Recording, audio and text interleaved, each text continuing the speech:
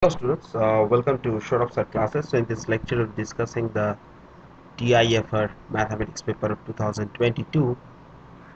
So what is the question number 14 is saying that let S be a set of non-negative continuous functions f on 0 comma 1 satisfying this particular relation.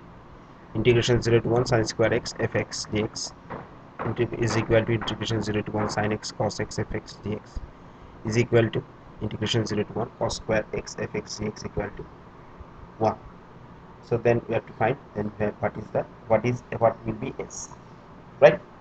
So now consider that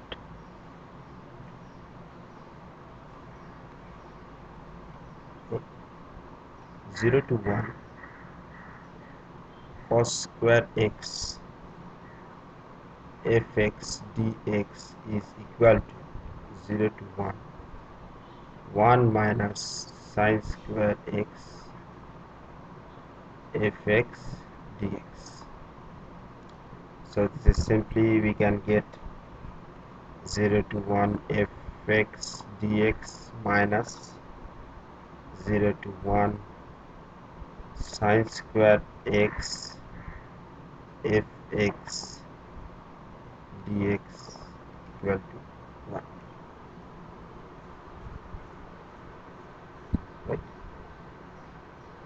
so we can write this so this which is not equal to so it is so f of x is given this by this function. We can write this. Now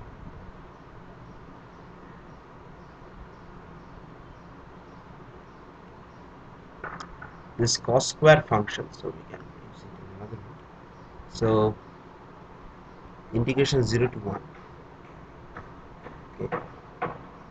Cos square x fx dx is equal to 1 so integration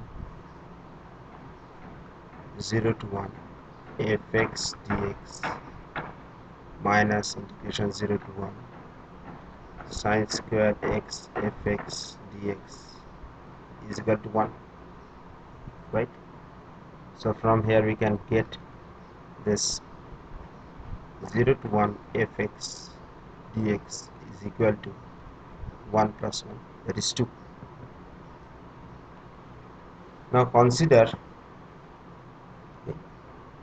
now consider that integration 0 to 1 if we do this so sine x minus cos x whole square this of fx of dx so I will simplify this. So it will be simplified easily. So we have integration 0 to 1 sine square x fx dx plus integration 0 to 1 cos square x fx dx right? Minus of 2 integration 0 to 1 you can write it as this manner sine of x cos of x f of x is equal to f of x dx okay?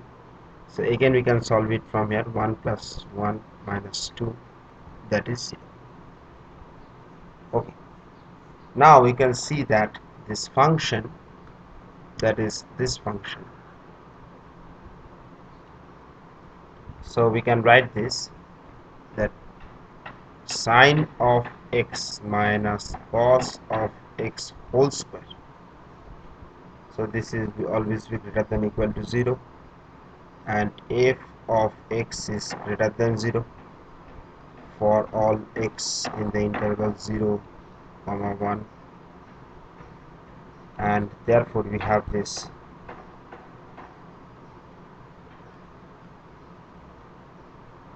Sine x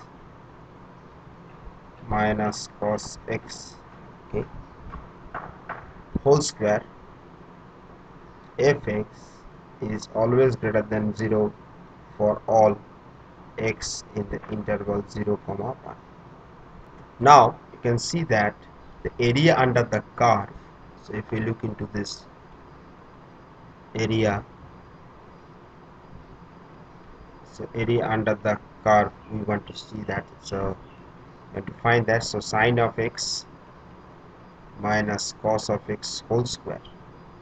Fx it is always positive in 0 comma 1 but on the other hand you can see a contradiction that integration 0 to 1 is sine x minus cos x whole square fx dx is greater than 0